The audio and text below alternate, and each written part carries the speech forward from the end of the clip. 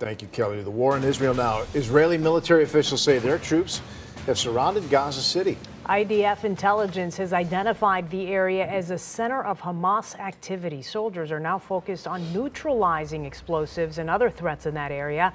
Commanders say a ceasefire is not on the table. Tomorrow, Secretary of State Antony Blinken will travel to Israel to push for a pause in bombing. That would allow for aid to flow in and the release of hostages. Earlier, President Biden said 74 Americans with dual citizenship were evacuated from the Gaza Strip. Others are still waiting.